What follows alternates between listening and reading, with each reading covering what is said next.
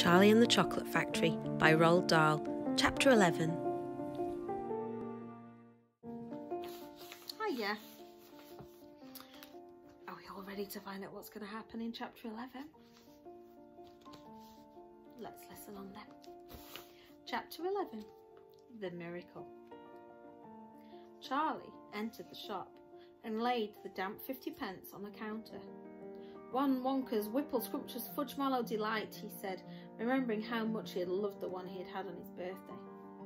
The man behind the counter looked fat and well fed.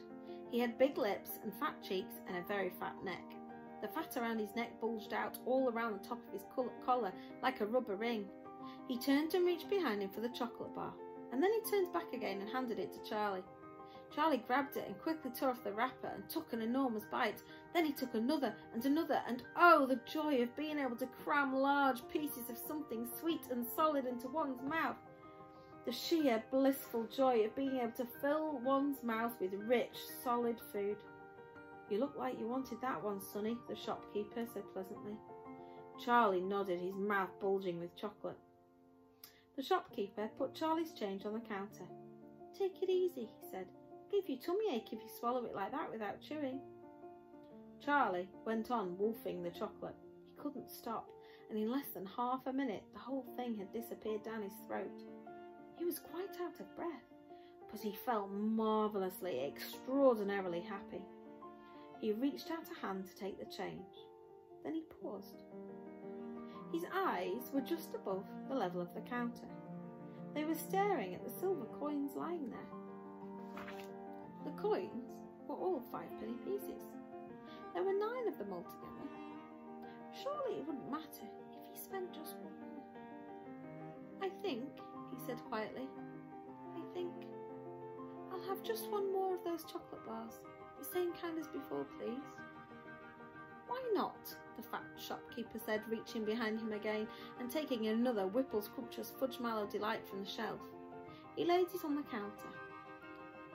Charlie picked it up and tore off the wrapper, and suddenly, from underneath the wrapper, there came a brilliant flash of gold. Charlie's heart stood still. It's a golden ticket, screamed the shopkeeper, leaping about a foot in the air. You've got a golden ticket. You found the last golden ticket. Hey, would you believe it? Come and look at this, everybody. The kids found Wonka's last golden ticket. There it is. It's right here in his hands. It seemed as though the shopkeeper might be going to have a fit. In my shop too, he yelled. He found it right here in my own little shop. Somebody call the newspapers quick and let them know. Watch out now, Sonny. Don't tear it as you unwrap it. That thing's precious. In a few seconds, there was a crowd of about 20 people clustering around Charlie, and many more were pushing their way in from the streets. Everybody wanted to get a look at the golden ticket and, and at the lucky finder. Where is it? Somebody shouted. Hold it up so all of us can see it. There it is, there, someone else shouted. He's holding it in his hands. See the gold shining? How did he manage to find it, I'd like to know? A large boy shouted angrily. Twenty bars a day I've been buying for weeks and weeks. Think of all the free stuff he'll be getting too, another boy said enviously. A lifetime supply.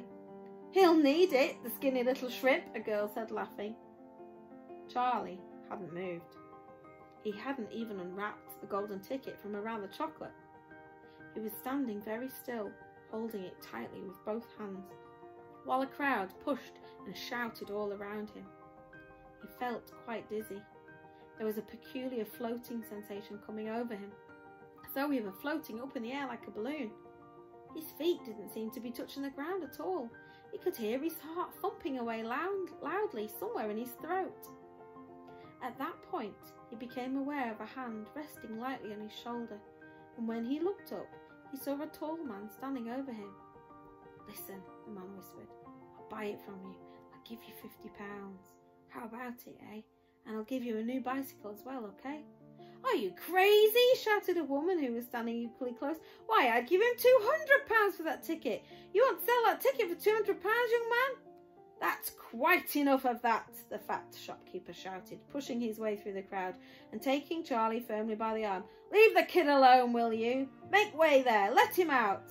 And to, and to Charlie, as he led him to the door, he whispered, Don't you let anybody have it. Take it straight home quickly before you lose it. Run all the way and don't stop till you get there. You understand?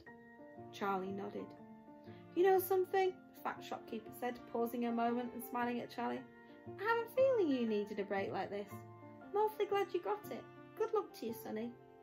Thank you, Charlie said, and off he went, running through the snow as fast as his legs would go.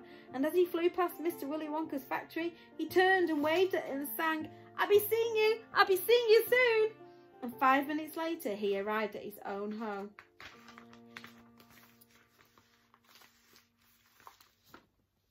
Night night. See you tomorrow for chapter 12.